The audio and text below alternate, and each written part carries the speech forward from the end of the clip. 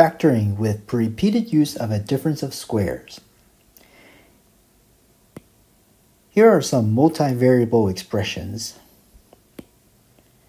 They both have x's and y's in them.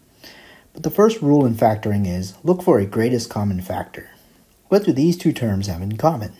They both have a y to the third power. So why don't we take that GCF and factor it out? Let's take the GCF y to the third and then use the distributive property.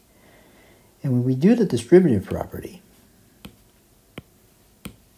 what would we have left? We would have x to the fourth minus 16. But that is a difference of squares. In fact, that is now equal to y to the third x squared plus 4, and then x squared minus 4. The sum of two squares can't be factored anymore. But notice right here, this is also a difference of squares. x squared is a square, and 4 is a square. So let's keep factoring. Let's keep it going. And what do we have left?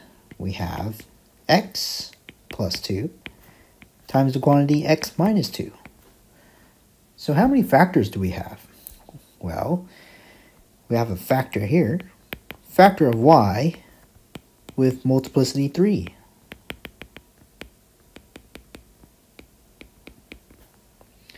Here's another factor. This factor is called x plus x squared plus 4. Here's another factor. And here's another factor. So we really have four factors.